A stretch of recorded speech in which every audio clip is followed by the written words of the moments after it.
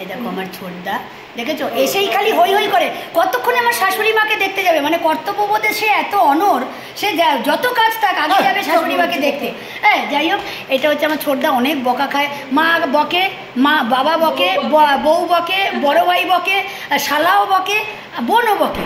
এবং এবং মেয়েও বকে সবাই ওই দেখো। দাঁড়া দাঁড়া।